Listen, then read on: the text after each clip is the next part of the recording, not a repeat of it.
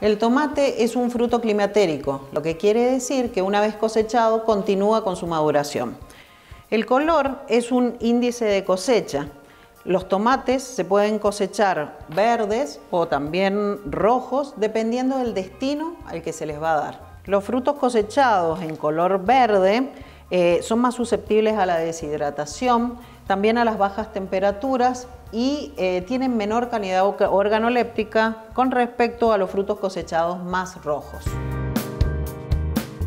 La determinación del color se puede realizar mediante una tabla o carta de color que consta de seis puntos.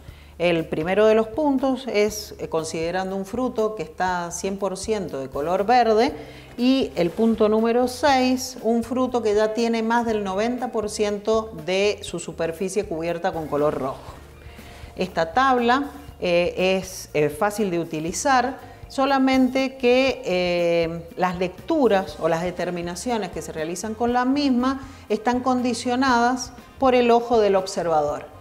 Para ello, nosotros, para poder eh, tomar estas lecturas más exactamente, utilizamos el colorímetro, un instrumental que nos permite hacer una determinación más exacta del color de estos frutos. El colorímetro es un instrumento que nos permite hacer una determinación de color más exacta comparada con la tabla de color.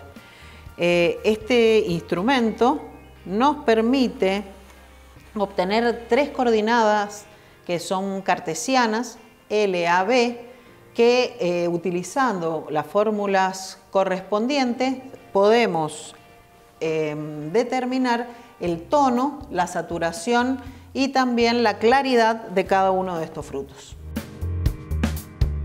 La firmeza de los frutos de tomate depende del estado de madurez y de la variedad. Para la determinación utilizamos un durómetro que lo que mide es la resistencia del fruto a la compresión. La característica que tiene este equipo es que no es destructivo, o sea, se realiza la determinación sin perjudicar el fruto.